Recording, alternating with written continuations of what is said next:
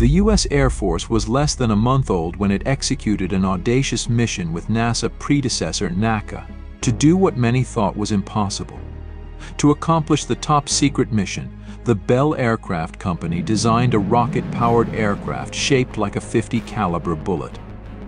Designated X for experimental, the classified X-1 was strapped to the belly of a B-29 bomber and flown to 24,000 feet.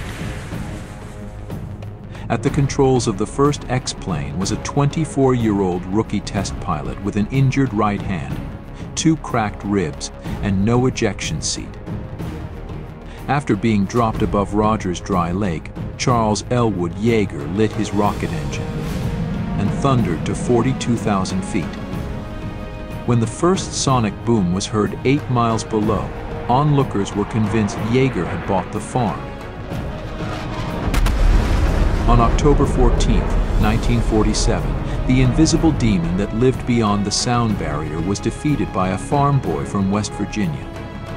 After that fall morning, aviation would never be the same, and the skies above the Mojave Desert would be the location where the impossible would come to die the heroes,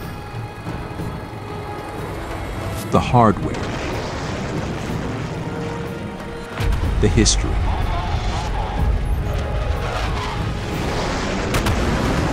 Flight Test Museum, where the sky has never been the limit.